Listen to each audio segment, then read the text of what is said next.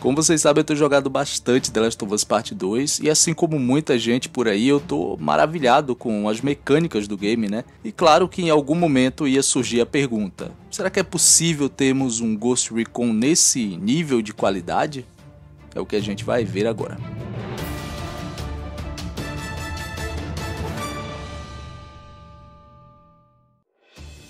Ok, beleza pessoal, eu sou o William Roth e hoje eu vou falar aqui com vocês sobre tudo o que Ghost Recon poderia aprender com The Last of Us Part 2, beleza?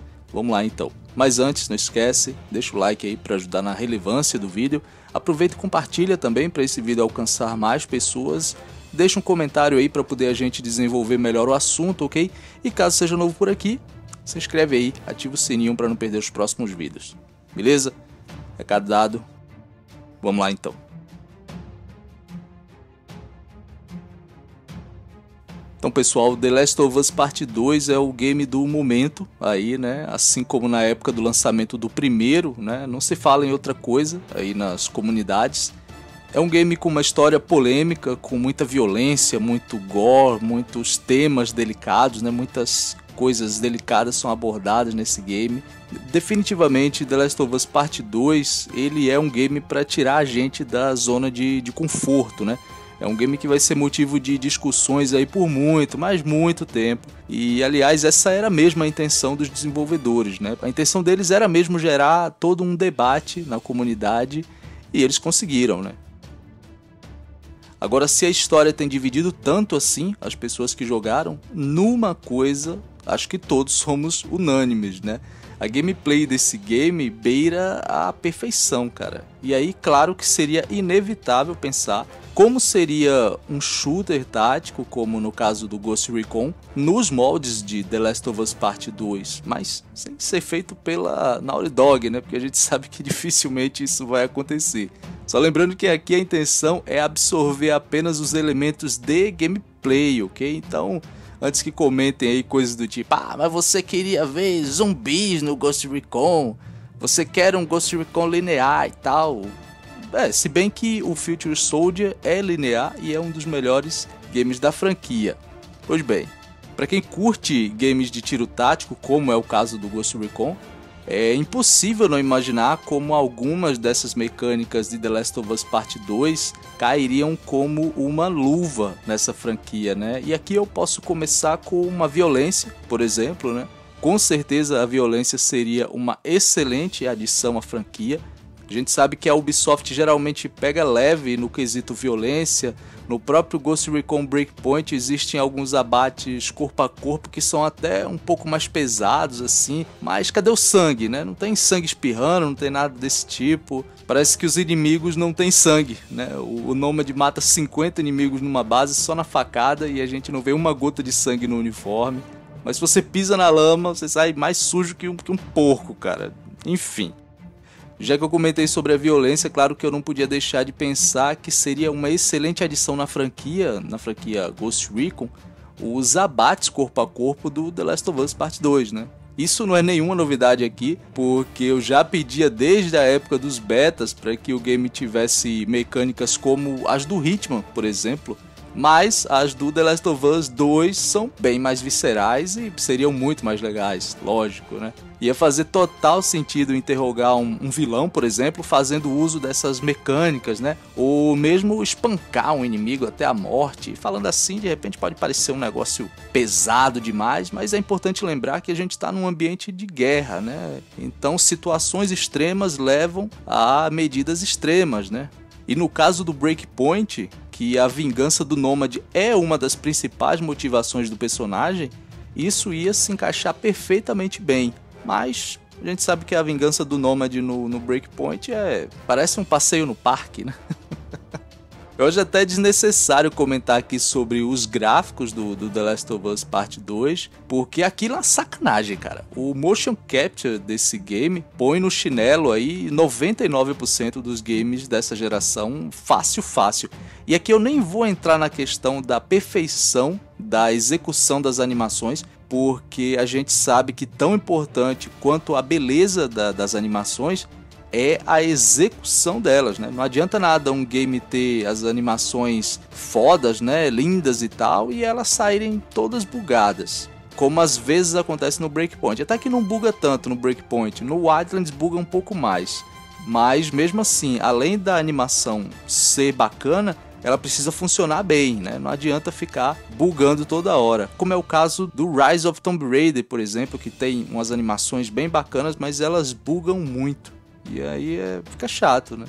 Em The Last of Us Part 2 a gente tem trocentos tipos de, de animação corpo a corpo, né? E pelo menos eu não vi nenhuma bugar em momento nenhum. E olha que eu tô jogando bastante esse negócio, viu? Isso também seria uma excelente adição ao Ghost Recon. Além das animações, a perfeição na execução, né? Eu tô dizendo. Na verdade, eu até gosto das animações do, do Breakpoint, né? O que me incomoda mesmo é a quase ausência de sangue, né? E do combate corpo a corpo, seja com armas ou seja na mão limpa mesmo, né? Que, que não tem no Breakpoint. A IA, claro que é um outro ponto aí que merece destaque, né? E aliás é, é importante que se diga que a IA do Breakpoint já melhorou bastante em relação à IA do Wildlands, mas ainda assim fica aí anos e anos luz da IA do The Last of Us Part 2. E quando eu falo de IA, eu me refiro tanto à IA dos inimigos como à IA dos aliados também, né? É muito bom ver inimigos te flanqueando, flanqueando de forma inteligente, eu digo, né? se organizando ali para atacar a gente. Eles atacam em blocos, usam cobertura, né? É, de uma forma eficiente. Os aliados também são bastante efetivos, eles atacam na hora certa, né? Eles não ficam se expondo. Ao contrário dos aliados do Breakpoint, né? Que frequentemente fazem coisas estúpidas, como sair atirando e andando no meio do fogo cruzado. Isso, na verdade, é uma coisa relativamente normal na IA dos jogos é, de hoje em dia, né? Tem essa IA meio estúpida, assim, que é a IA do Breakpoint. Mas a IA do The Last of Us Part 2 realmente está um degrau acima, ou até alguns degraus acima, não só um. Uma coisa que eu acho bem interessante é que se você abater um inimigo, você tá ali no meio dos inimigos e tal. Se você abater um inimigo enquanto ele conversa com outro NPC, ele automaticamente percebe e aí chama pelo outro, né? Eles chamam pelo nome, inclusive, é um negócio, é um negócio muito interessante. Realmente é um negócio muito bem feito. A expressão dos personagens durante cada ação, é, a balística, o design de som, a física, enfim, é muita coisa, né? É bom ver as suas ações dentro do game é, tendo um peso, né? Os inimigos reagem ao impacto dos tiros, nós também reagimos. Não tem como sair tancando tiros e, e matar o inimigo na facada, como acontece muito no, no Breakpoint, né? Enfim, são inúmeras as coisas que eu gostaria de ver num game de tiro tático, né? Eu sei que tem alguns que capricham em alguns desses aspectos, como é o caso, por exemplo, do Insurgent Sandstorm, que capricha muito no áudio, né? Tem um design de som magnífico. Tem outros games que capricham nos aspectos de sobrevivência, outros capricham mais no gráfico e tal. Só que eu acho que poderia um único game ter todas essas qualidades, como é o caso do The Last of Us, né? Mas eu realmente gostaria de ver essas características todas num Ghost Recon, porque essa é uma das franquias que, que eu mais curto, talvez a que eu mais curta, e eu quero ver sempre evoluindo, lógico, né?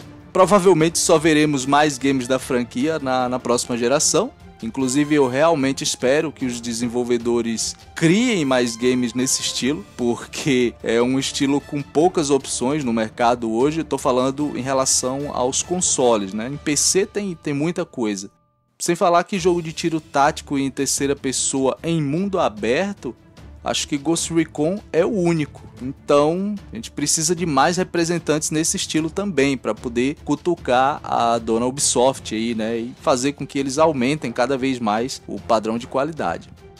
Eu falei demais aqui e eu acho que eu acabei esquecendo de falar sobre algo que eu acho que é uma das principais características né, do The Last of Us, que é o desenvolvimento dos personagens. Eu já falei várias vezes aqui sobre a minha decepção em relação ao Walker, que tinha um enorme potencial para se tornar um, um, vilão aí inesquecível, mas que no final se provou ser apenas um vilão qualquer na franquia, né? Ficando inclusive abaixo de outros vilões da mesma franquia. Recomendo que vejam inclusive a análise comparativa que eu fiz entre o Walker e o El Sueño. Vou deixar no card aqui em cima para vocês verem, caso não tenham visto ainda. Beleza? Então é isso, pessoal. Agora é com vocês. E aí, o que, é que vocês acham? Concordam comigo? Não concordam? Acham que essas características de The Last of Us Part 2 cairiam bem num game de Ghost Recon ou qualquer outro game de tiro tático? Deixem aí seus comentários, beleza?